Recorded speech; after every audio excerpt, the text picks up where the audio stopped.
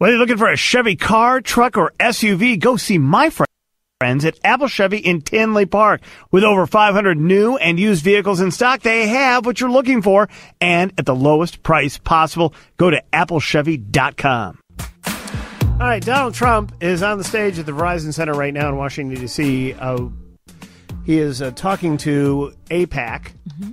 the American Israeli Political Action Committee. And let's dip in here. He's talking about Iran. 1, 250 miles were designed to intimidate not only Israel, which is only 600 miles away, but also intended to frighten Europe and someday maybe hit even the United States. And we're not going to let that happen. We're not letting it happen. And we're not letting it happen to Israel, believe me.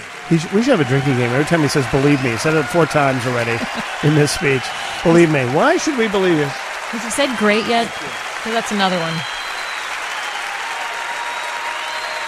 Believe, people say believe me when they don't believe themselves. Do you want to hear something really shocking? As many of the great people in this room know, painted on those missiles in both Hebrew and Farsi were the words, Israel must be wiped off the face of the earth. You can forget that.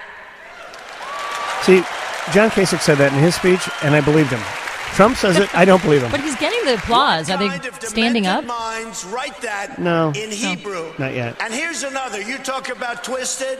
Here's another. And he's doing this off part. of a teleprompter, which is unusual. Very unusual. The horrible deal that we've made. The deal is silent on test missiles. All right. But those tests. Well, uh, we we are recording this, and if uh, something of major news comes out of uh, Trump at AIPAC, we'll bring it right to you. But uh, meantime, on the super celebrity hotline, here he is, Geraldo Rivera, who, by the way, Geraldo was on The Apprentice, mm-hmm. and if I am not mistaken, Geraldo thinks that Donald Trump is going to be the next president of the United States. Is that right, Geraldo? Hey, Roe, what's up, man? How are you? I tell you what, I think he's going to be the Republican nominee. I think that he is, in fact, the Republican nominee now, and everyone waiting for a white knight to ride up and rescue the GOP is hallucinating. That's probably true. That's probably true. Now, since you were uh, kind of right up, you know, with him on that show and around him, and you've known him. I mean, you're a New Yorker. You've been around him for decades now. I mean, I the guy scares the pants off of me, but I'm looking at him from 800 miles away. uh, but are you? What is? What is he as scary as I think he is? Well, you're you're scary. That's true. you, you, know, I've known him since. Uh, let me say, I met him. It must have been 1974. Uh, certainly by 1975, we uh, were hanging out. A much different part of our lives. So I've known him. This is my fifth decade of knowing him, and I don't think that he's nearly as uh, as nutty as he's being portrayed. I mean, some of his policies are obviously, from my point of view, hideous. Uh, but I really believe that the guy I know is not the guy that's going to deport 11 million people and break up uh, citizen uh, children from their parents who happen to be undocumented. I just don't think that's going to happen. I know that he he's got plenty of Muslims around him and uh, African Americans and plenty of Latinos. You go in his building, uh, you know, you scarcely see a white guy. Everybody works for him is a minority of one sort or another. Uh, Omarosa and, uh, does not know, count. I just think it's okay. All right. Omarosa does not count. All right, let me. All right, let's let's talk. Let me. Let me I wanna, that was great. I want to ask you about your your my comment about minorities. You said that he will get twenty five percent of the minority vote coming up. Right. And a lot of people are like, "How right. could that happen, Geraldo? How could that happen?" Well, let me go through it. I think that 25%, first of all, as you know, 25% is low on the Latino side because Mitt Romney only got 27, George W. Bush at 44%, and, and won the election in uh, 2004, won re-election. Uh, so I think he's going to get, why do I think he's going to get more black votes than, uh, than the Republican nominee usually gets? The reason is I think that this populist message of his, uh, uh, uh fighting against unfair trade, uh, you know, the, the Carrier air conditioner pulling out, going to Mexico and so forth. Uh, that and fighting against undocumented immigrants, I think that appeals to African Americans because I think that some percentage of them, obviously not a, nowhere near a, a plurality or majority, uh, think that uh, you know that's why their economic situation is so dire. So I think they'll get more black votes than usual. I think they'll get less brown votes than usual. Interesting. Hmm. All right, now speaking of, of all of this, I don't know how. Ma- I'm just gonna make this transition. You know, as a Like, where- how broadcaster, you Geraldo. I'm just gonna. I, I'm just gonna stop, take a pause, and say, "Hey, you're on Dancing with the Stars." How is it? Great the, segue. The premiere is coming up tonight.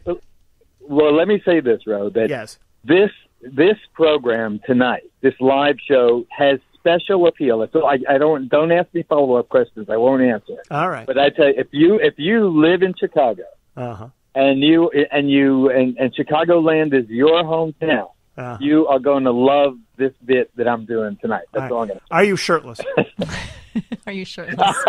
well, that appeals beyond Chicago. I would. I, I know. I Global, Know. that's I know. I've seen your Instagram account. Yeah, I know how it goes. Mm-hmm. Yeah, yeah. Uh, well, now you know it's it's funny because I the people I know who have done this over the years have always come back from it and said it was a great, great, great experience. Mm-hmm. You have had the most amazing range of experiences of probably any modern journalist, right? I mean, you've done everything from great domestic stories to international stuff, war zones, everything. Uh, How so far in these couple of weeks of practice and getting ready for the big show tonight? I mean, where does where does this all rank for you? Oh, you know, you just reminded me of something, Rod. But last night I was at my first son. You know, I have five children. My oldest son is 37. Uh, my wife is out here. All five of my children are coming together. We went to my ex-wife, the mother of my first child, and she showed me a letter from Barbara Walters that she had saved for when we were married in 1977. Barbara Walters congratulating me on this series I had done on cocaine abuse that was sweeping the nation. You know, so now it's a different day, different drug. But uh, you know, it's, it's funny that you mentioned that because I have been at this for over 40 years. I've had experiences all over the place, uh, all kinds of different things. This is way out of my comfort zone. uh, it was on my bucket list. I asked a couple of times before. I always said uh, no for one reason or another. Uh, now I just decided, hey, if if not now, I mean, at least I could still walk. Right. Yeah. Yeah, that's Whether I could dance, that's another issue. Geraldo, I loved you on the Celebrity Apprentice. I thought it was entertaining to Thank watch you. and it was it was a fun. I mean, I'm a, I'm a fan of that show, but you were great to watch on it. I, what's the whole? What is this whole like reality show experience like? I mean, what's your takeaway after doing that, and does that affect how you approach this one? Well, you know, Celebrity Apprentice was interesting because there I was with uh, with Trump every day for six weeks in a row, and you really get to see the measure of the man. And the, you know, I'd never seen him really as a grandfather before. I'd never, uh, uh, you know, never really had a, a, a lot of uh, you know time to see him interacting with the other executives in his company, and then the so it really was interesting just to get to know Trump as well as, as I did. But what was what was weird on about the uh, the the Celebrity Apprentice was that everybody wanted to stab you in the back Right. you know, it's a really individual competition and watching this. So I, even my own teammates were plotting against me, uh, Kevin Jonas and uh, Ian Ziering and even Lorenzo uh, Lama plotting against me. They did not like you. Geraldo. They were mean and is so cruel. yeah, Dancing with the Stars, everybody wants everybody to succeed. They cheer each other on. It's a much more camaraderie, you know, collegial Mm-hmm. kind of atmosphere. Yeah, I'm yeah, yeah, for for sure. Yeah. You think Ian Ziering's going to make the cabinet for Trump? You think he's going to make it? I don't Charlie know. Is Sheen? he, has he come out for him? I don't know. Yeah, uh, maybe. I'm I'm I'm thinking uh, Health and Human Services for Ian Ziering. All right, uh, let's. Uh, all right, so, What's so Omarosa's job? well, I don't know. I but She has a job, or you she's a spokesperson already. She's already out there. I, she yeah. probably ends up Secretary of State, maybe. All right, let me let, All right. As long as he doesn't hire Kenya Moore, that's the one. There. Uh, let me Joe ask- Jonas. right, or any any Jonas for that matter.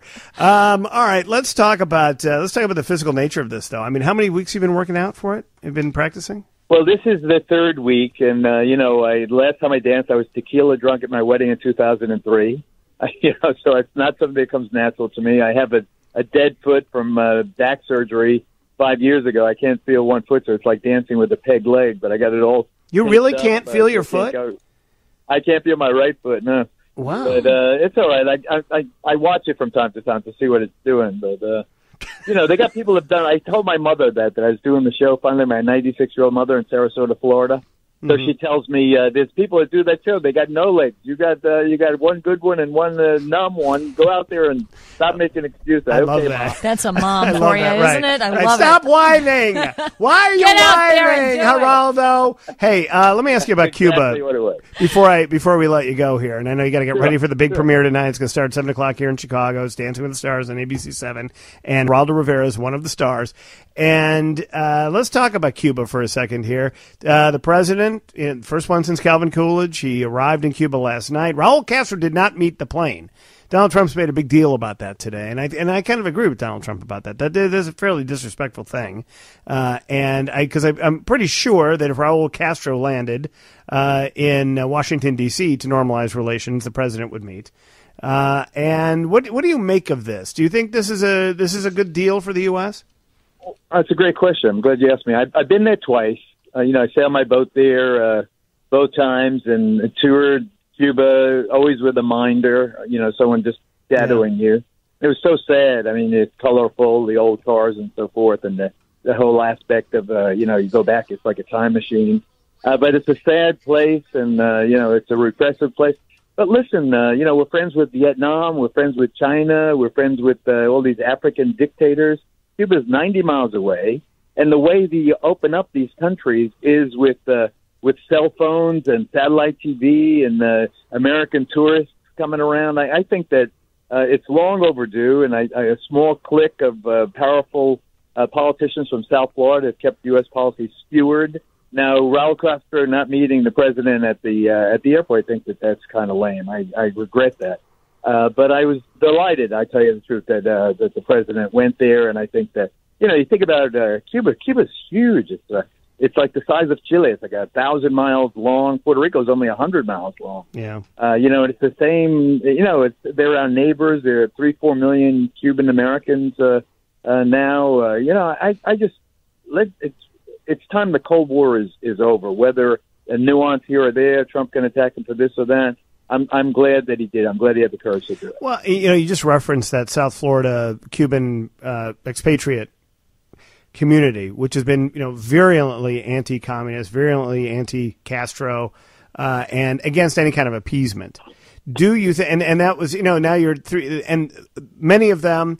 Uh, you know the grandparents now of those of the kids in that community uh, were you know lost their businesses, their lives, their homes, all of that to to to Castro after Batista fell, right? So they, now, do you think because we're dealing with a second and third generation that's away from the reality of you know those losses and that trauma that it's finally now opened up? Is that the only route that this has taken? I think that's another wise observation, my friend. I think There that uh, when you see the generation nowadays, they're eating McDonald's, they're watching uh, MTV and Bravo and this and that. They're totally uh, Americanized now. They they look at their parents, more likely their grandparents, and say, you know, what the hell you're still so pissed off about? Yeah. I think the way to get paid for if they have a house and they took over your house is to open up relations, and then you have you know what South Africa did, a kind of uh, reconciliation board that says, okay, you get this much, you get that much.